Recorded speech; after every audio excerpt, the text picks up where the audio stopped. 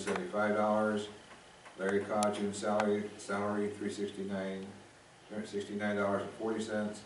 William A. June salary and reimbursement for Inc. is six hundred eighty-two dollars and twenty-seven cents. Peggy Miller, June salary is five hundred seventy-seven dollars and nineteen cents. Any discussion? What was the check number for Peggy's check? Uh, thirty-nine twenty-seven.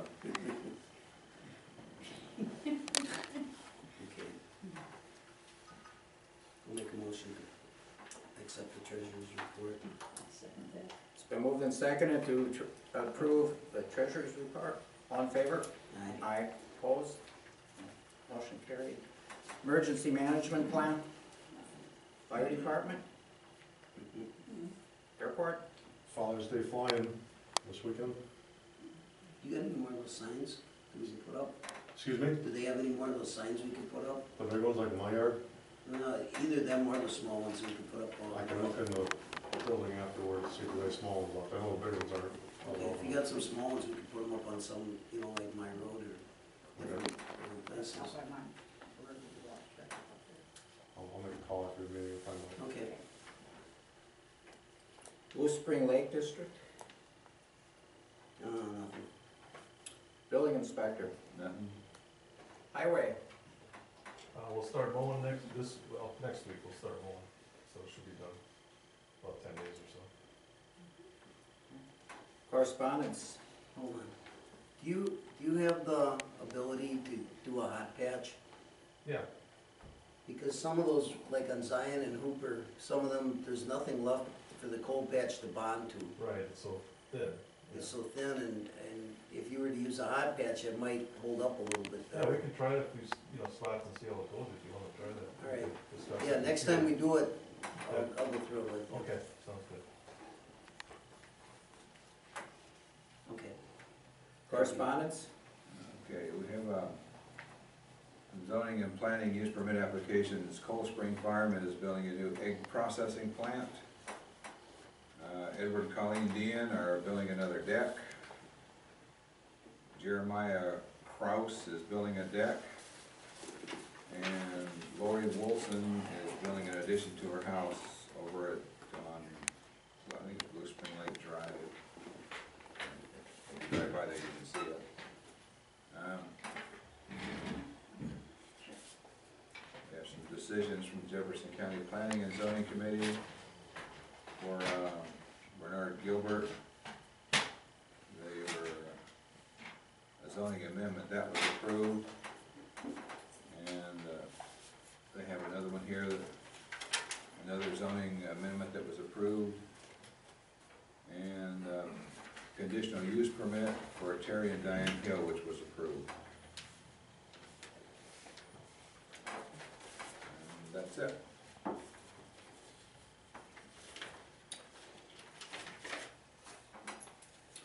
Old business, garbage pickup from advanced disposal. We've got a representative from Advanced Disposal right here.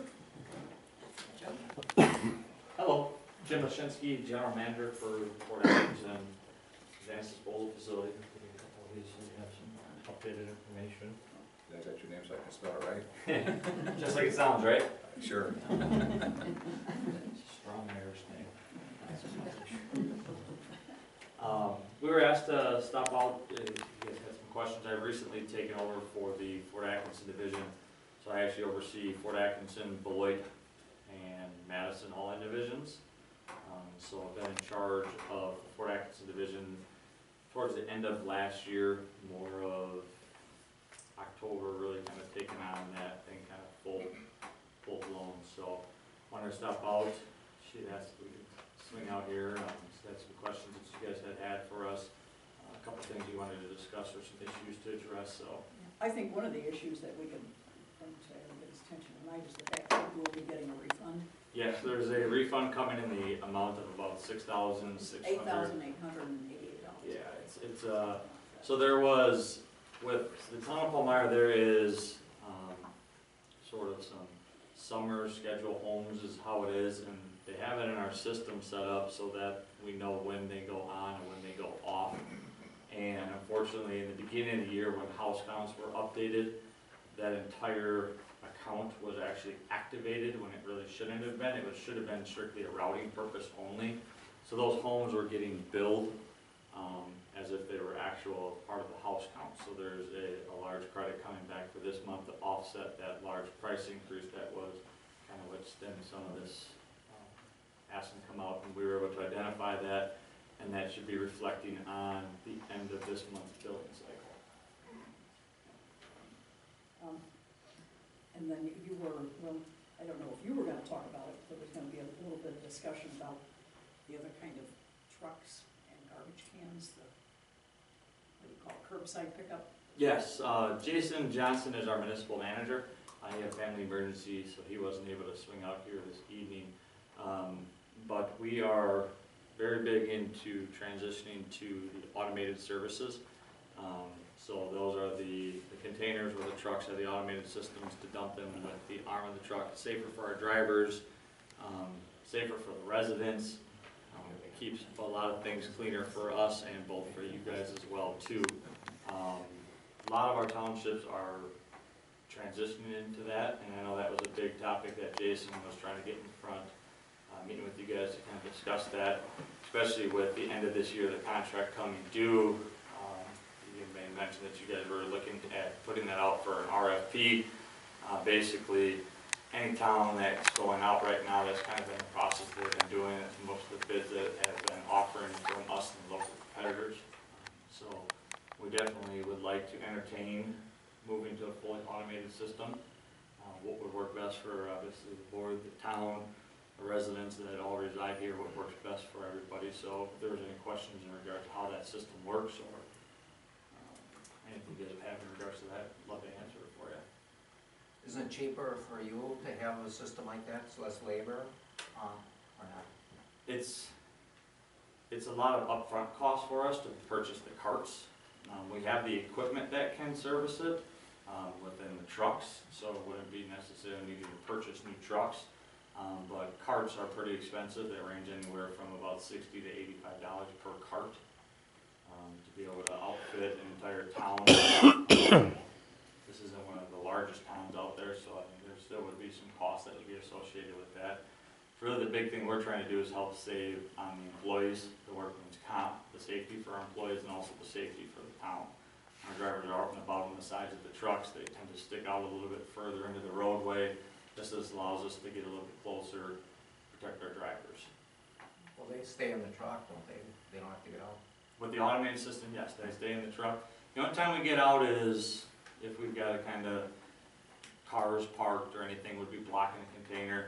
You know, for the most part, we try to get out and move them, uh, but for the most part, we stay in the cab now finally, which is, it helps us. Have you had any trouble with that, like in, I know the town of Sullivan went to that last year, I think.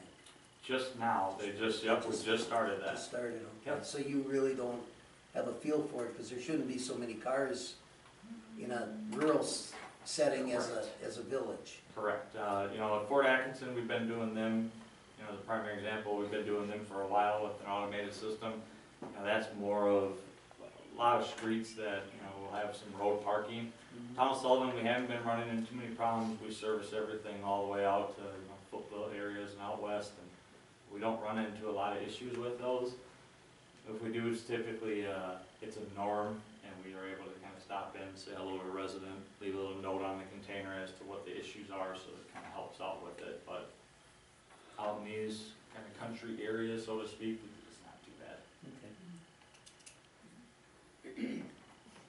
So, so we could expect to talk to somebody before we start our budgeting process? Absolutely. correct? Um, Jason is the one that will be kind of stimulating that. Um, I know he will be in touch with whether it's something uh, through email or through phone conversation, and then obviously something in a formal setting like this would be uh, the next step for it.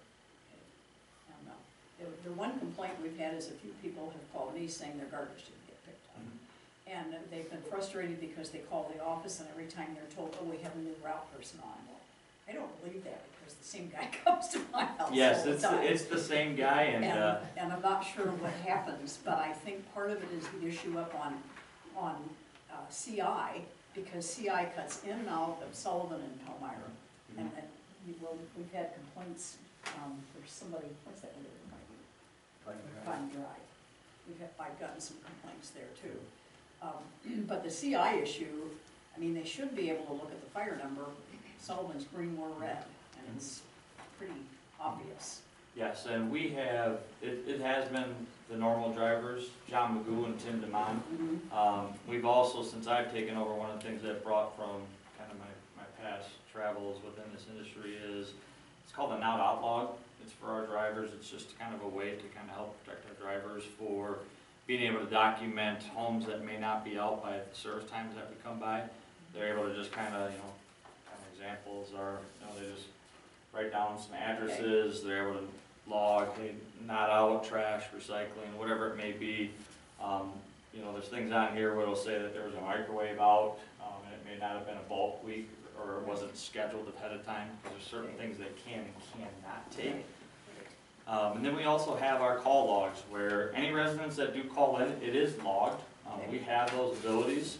Any customers that call in and it's a multiple offense, um, I've created a red system where basically that home, that resident will be set up with an automated ticket, so the driver actually has to physically call dispatch, dispatch will physically call a resident if it becomes an issue that has been over time, so, you know, if we're missing one, or if you're getting one that you're consistently getting, um, I get, giving you guys my cards, or, you know, residents, if they contact our dispatch, our call center, excuse me, that can be looked up, we can create those tickets, and then generate that, so every time we're communicating with both the residents, kind of puts everybody at ease, it's a way to, a resident at ease, protect our drivers, so that he's able to remember it, um, helps out, you know, vacations, yes, there will be a different driver on Yeah. vacation weeks, you know, John Magoo, for example, last week, he was on vacation, so.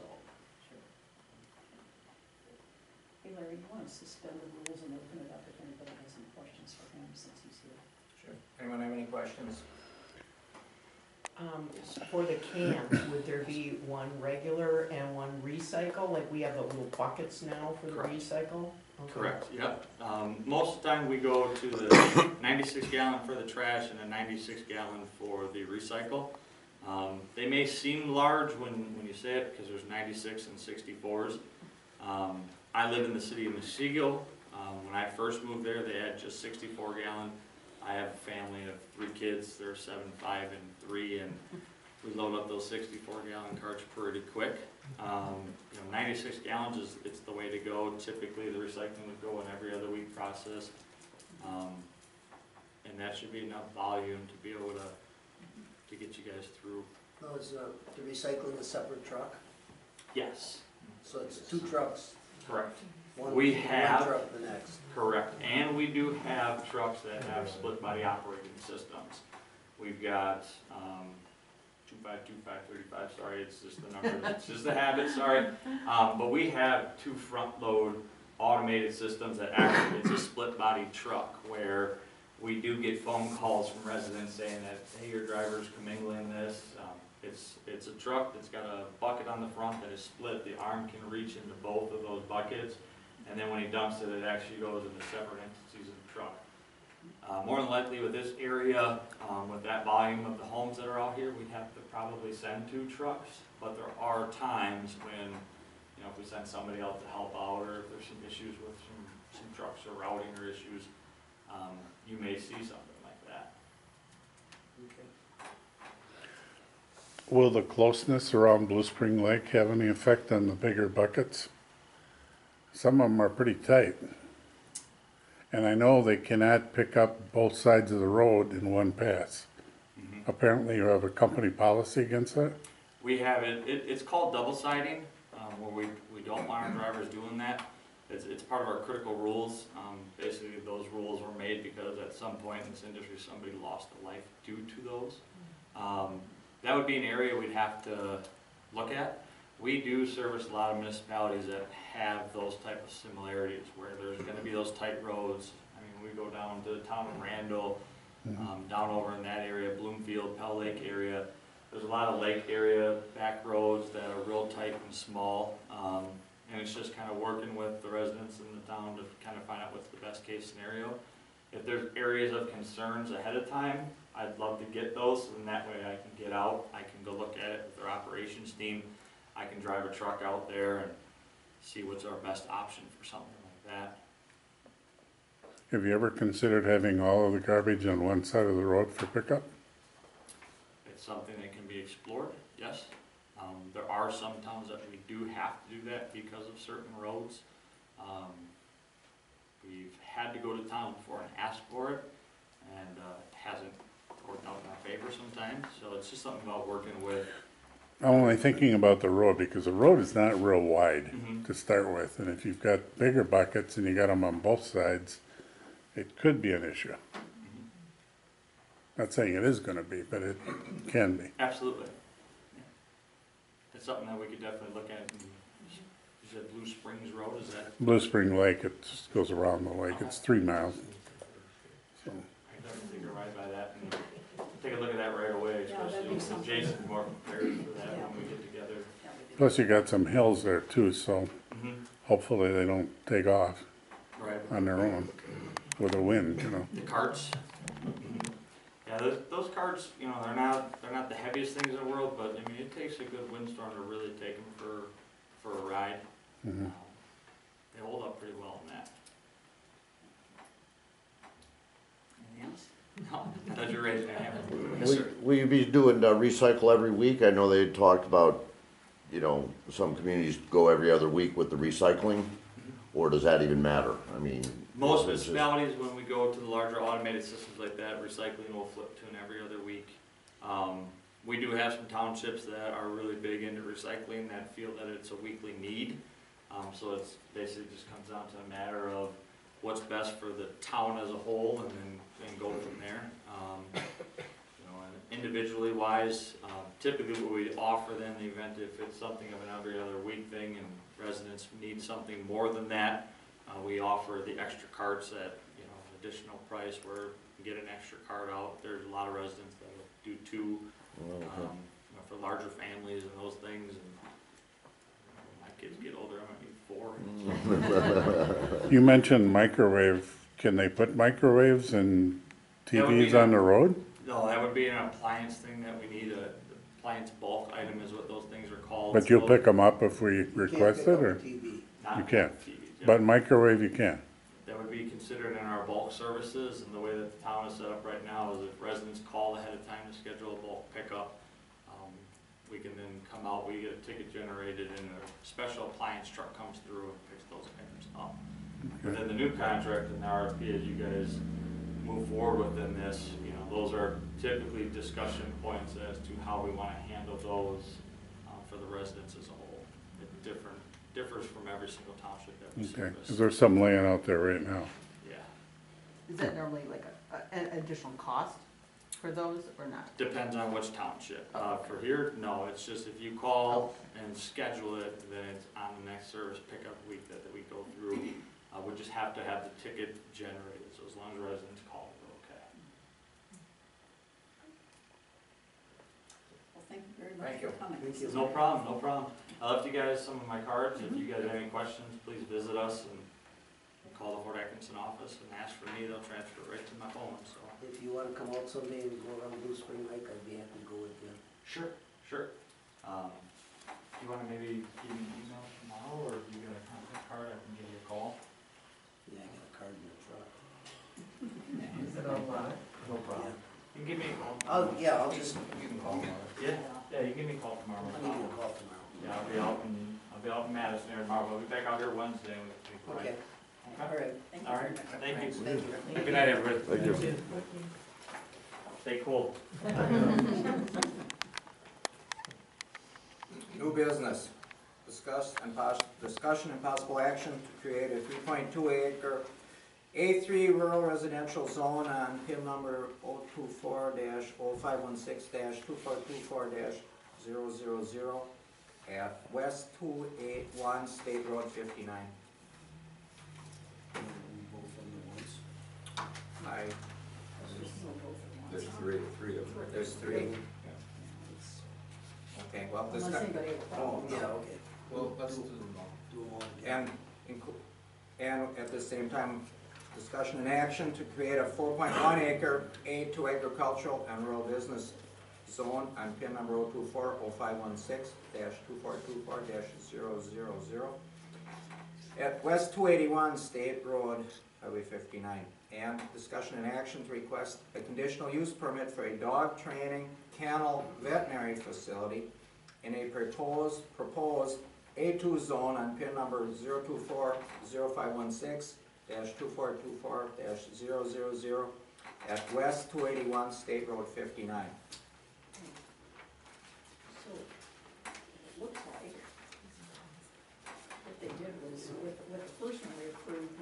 Changed it and kind of made two where there were three. Is that right? I think we've got somebody here who can talk to us about this. Two people. Talk about this, hi, I, I'm Paul Holt, um, uh, and I, I recently was looking at Bernie Gilbert's property, uh, and it was going through the rezoning process at the time, so I believe there were two, uh, residential lots that were just approved just recently. Um, we took a look at the property, uh, what our intent is, is to rezone, um, it into two lots, one A two and one A three. Uh, the A three would be the residential, uh, it would be a residential lot where we plan to build a house. Uh, the A two zone, um, we, uh, want to start a non-for-profit, uh, where we work with, uh, disabled individuals and service dogs. Um, but we're building it in such a way where at least we'll have capabilities for it to grow. This, this isn't a high volume type of a situation because you have to match up the, the patient with the animal. Um, but, uh, we also are having, uh, well, we intend to have, uh, the building, um, plumbed such so it can possibly have some veterinarian services in it in the future. Uh, and also room for some kennels. Uh, so we're proposing, uh, to put on that land a, a fifty by one hundred square foot pole building, um, with roughly, uh, roughly three thousand square feet of it would be, um, actual, um, built-out space. And then, uh, the remaining two thousand feet would be an open bar.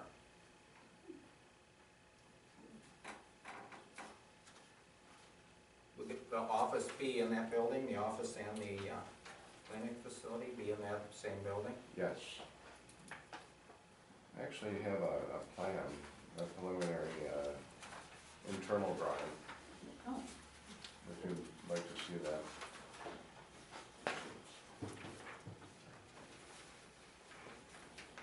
I don't see with any of your questions anyways.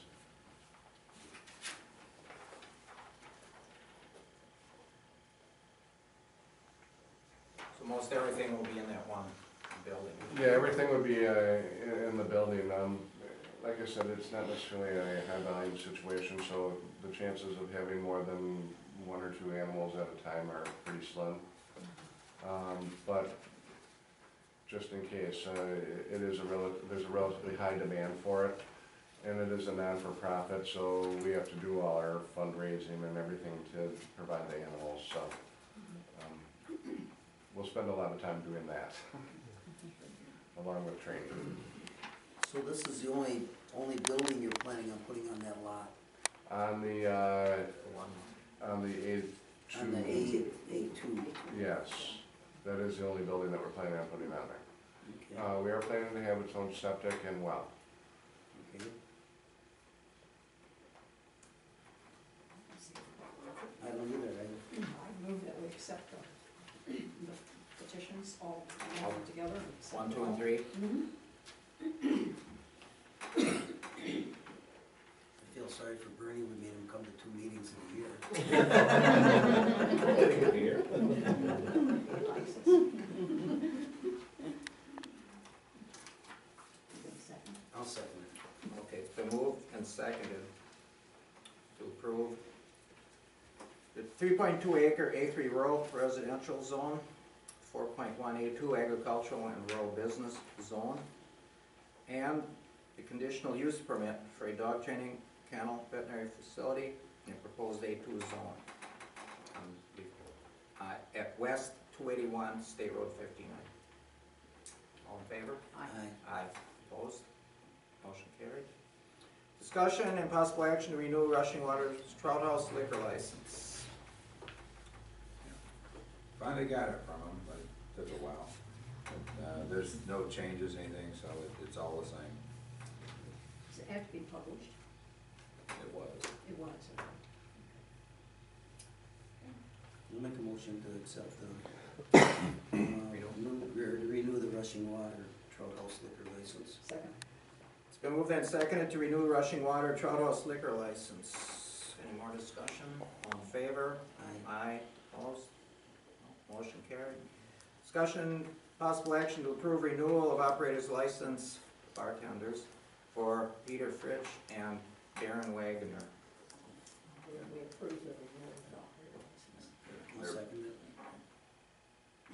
Yeah, they're both renewals, so there's, yeah, there was no changes.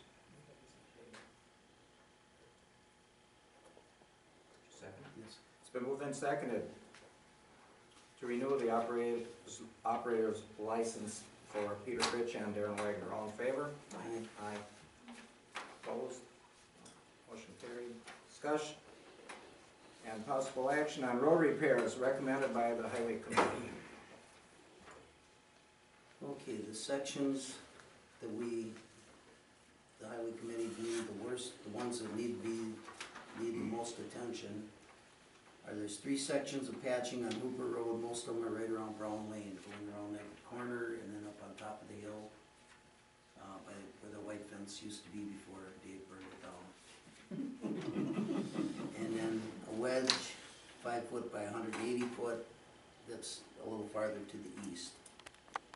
Lowland Road, uh, we have a culvert that needs, the, asphalt on top of the culvert is busted, and the culvert itself has been banged on the ends, and it's cheaper to replace the pipe than it is to put a liner in it, and if we, if we just patch it, uh, we're gonna have to change the pipe sometime, this way we can use bridge aid, we'll get sixty percent of that back in two years.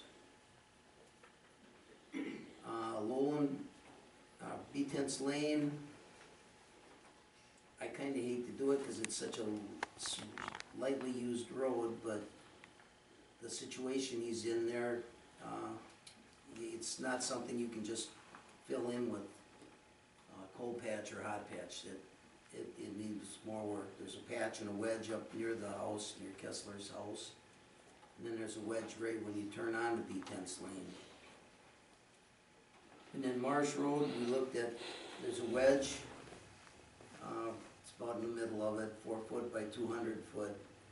We also looked at grinding the center of the road and patching, and doing it like a center wedge, but that would have been another fourteen thousand, we didn't have that money, so we're doing, we're sticking to what needs it the worst, because, and that's something we looked at for next year right away. And then the intersection of Marsh and Watunski, remove and repave twenty-one, twenty-one feet by hundred and twenty-five feet. Yeah, well, it was feet. Lucky I can type it all. For a total of forty-eight thousand, three hundred and eight dollars and seventy-one cents with the county. Greg told me that that would probably be, the estimate would be on the high side. And they've done right by us so far, so until they don't do right by us, I don't see any reason not to use them. And this is, I mean, this is all Band-Aids. Um, next year we'll have to look at something, some bigger stuff. But that was the recommendation of the highway committee. I have a question about B-Ten's Lane. Would something like the reconstituted asphalt, like Cransett Lane, would that be something that could- could possibly work there? Because there's minimal traffic. I don't think so because of the heaving. It's so wet down there. Okay. That was, I that think was, it's the- gonna stink and rise all the time. that was the problem with the asphalt that's there, and it's gonna happen There's again. no road bed. There's no road bed. Oh, no. Oh, all right. At least on Brexit line, there is a good old road bed, big rock. So it's up out of the road.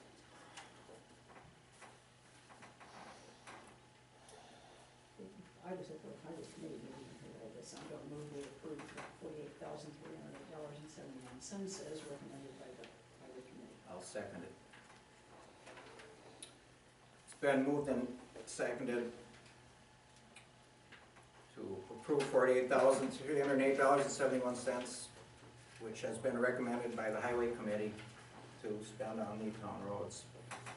That's, that's an estimate, but An it should be estimate. pretty close.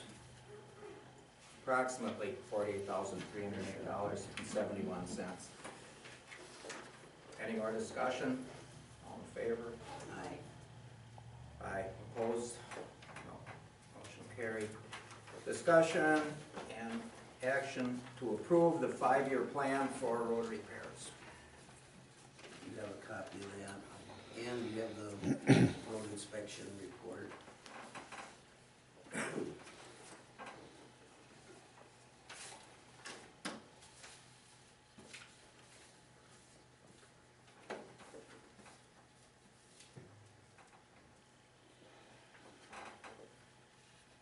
I think next year, the, doing that Marsh Road, the center, center of Marsh Road and trying to chip seal the whole thing.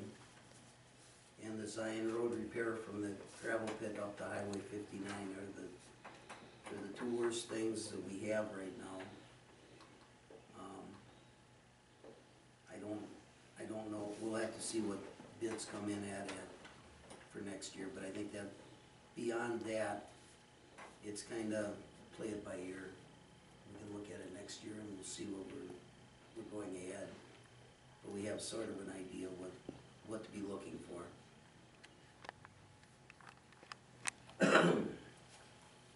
Do we know how much of, what part of Marion is ours and what part is Stevens? No, I didn't talk to Ron yet. Okay. Well, that's, I wait in the future anyway, I'm just curious.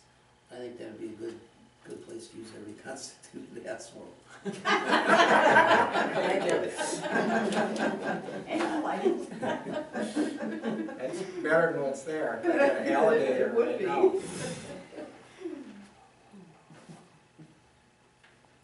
So do we need action to approve this? Yeah, you I can. know it's tentative, but I'm I gonna think we motion can that we, tentatively approve it. that we We should- tentatively approve this five-year plan.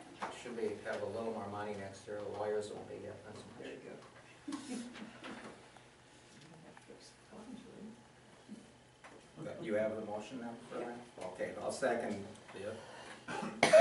It's been moved and seconded to approve the tentative five-year plan for road repairs. Is that okay if I say tentative?